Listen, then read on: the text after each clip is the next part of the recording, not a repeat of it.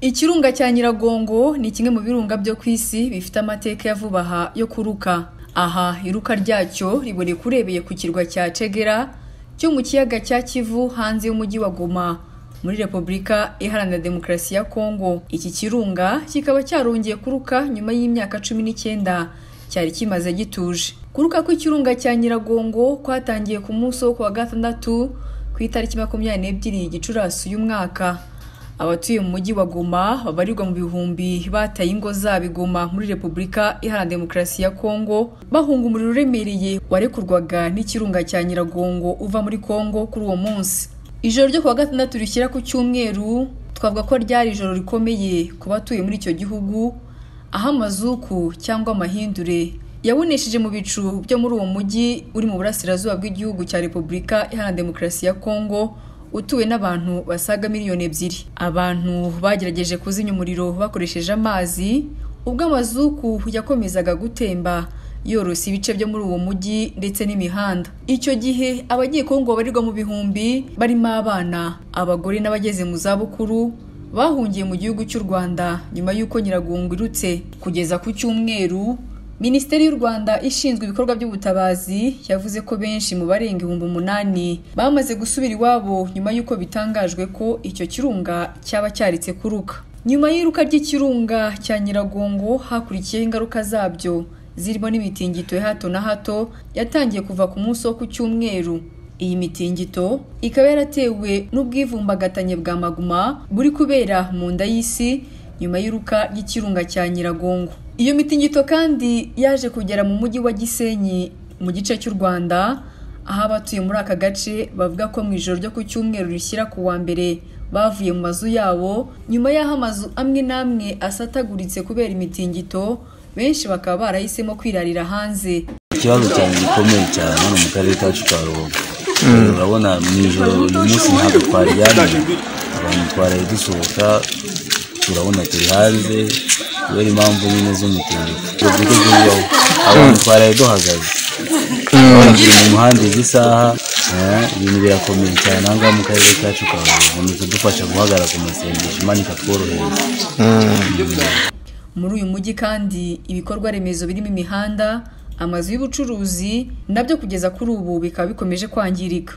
Ku munsi w'ejo ku wa mbere abari mu karere ka rubavu batangaje ko bakomeje kumva imitingito yoroheje n'imeze nk'iremereye. Iyi mitingito kandi ikaba yarageze no mu mujyi wa kigali no mu bindi bice bitandukanye by'igihugu cy'u rwanda. Gusa ho ikaba iri ku rugero rwo hasi. Mu gihe imitingito ikomeye yumvikana i rubavu ni nako ikomeje kumvikana mu mujyi wa goma muri repubulika iharanira demokarasi ya kongo. Ku munsi w'ejo ku wa mbere ahagana saa yine n'iminota mirongo itatu n'irindwi umutingito uri ku gipimo cya gatanu n'igice kimwe wumvikanye mu bice bitandukanye by'igihugu hano mu rwanda ndetse ukaba warangije amazu n'imihanda mu karere ka rubavu. Kugeza kuri uyu wa kabiri imitingito ikomeje kumvikana mu mujyi wa gisenyi nk'uko abahatuye babivuga. Abantu benshi basohotse birinda kuba bari mu nzu babamo amashuri na yo akaba yabaye abujije abana kuza kwiga. Abatuye muri ibi bice bavuga ko baheze mu gihirahiro kandi impungenge ari zose kuri bo ko iki kirunga cyakongera kuruka. Mu gitondo cyo kuri uyu wa kabiri mu mujyi wa gisenyi hongeye kumvikana umutingito ukomeye wangije inzu ebyiri mu murenge wa gisenyi harimo n'inzu y'igorofa. Hari kandi izindi nzu zagiye zangirika ku buryo bworoheje zirimo n'umusigiti mukuru w'umujyi wa rubavu ndetse n'ishuri rizwi nka esa gisenyi bimwe mu byumba byaryo bikaba byasenyutse.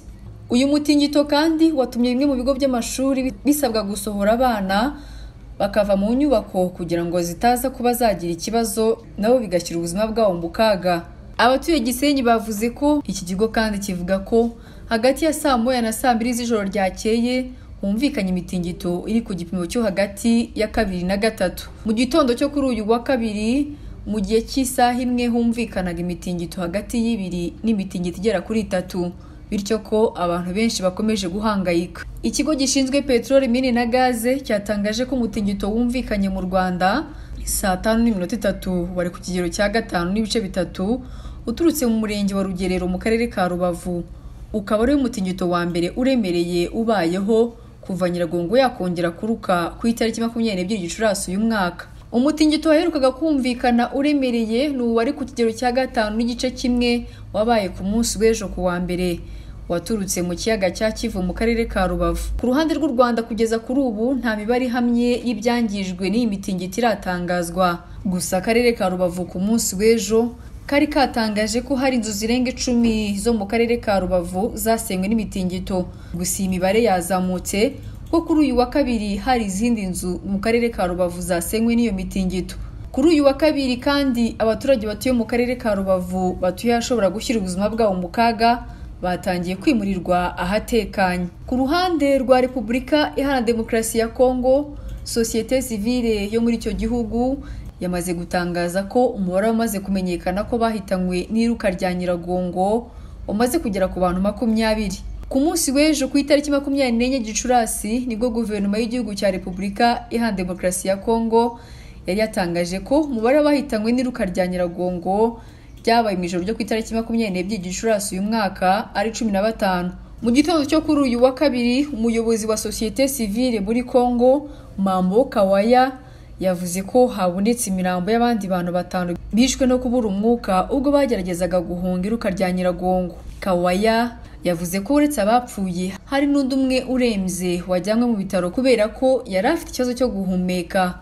Muri iki gihugu kandi umutingito wakomerekeje benshi. Mu gitondo cyo kuri uyu wa kabiri barimo n'abagwiriwe n'igorofa mu mujyi wa Goma.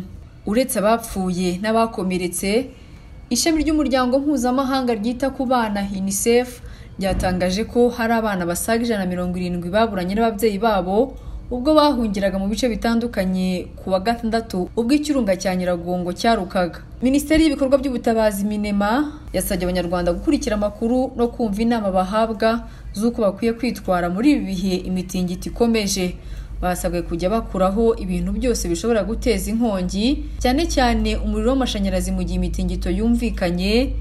Igihe umuntu ari muri asanseri akavamo byihuse gufasha abafite intege nke kugera ahatekanye hategereye ikintu gishobora kugwa nk'ibikuta by'inzu ibiti n'ibindi. Ndetse niba utwaye imodoka urasabwa guhagarara ahatari ibishobora kukugwira kandi ukirinda guhagarara ku iteme cyangwa ku biraro. Dukomeze kuba hafi ndetse twihanganishe abakomeje kugirwaho ingaruka n'iruka ry'ikirunga cya nyiragongo. Nge nari liliane iradukunda.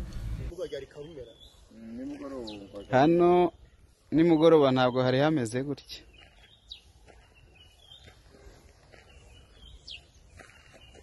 Byacitse.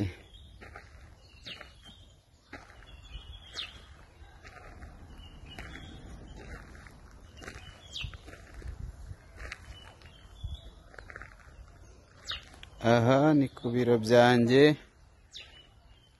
Hantu pasiteri karekezi yari atuye dore uko bimeze sima yatandukanye. Ntabwo tuzi ikintu cyihishemo imbere.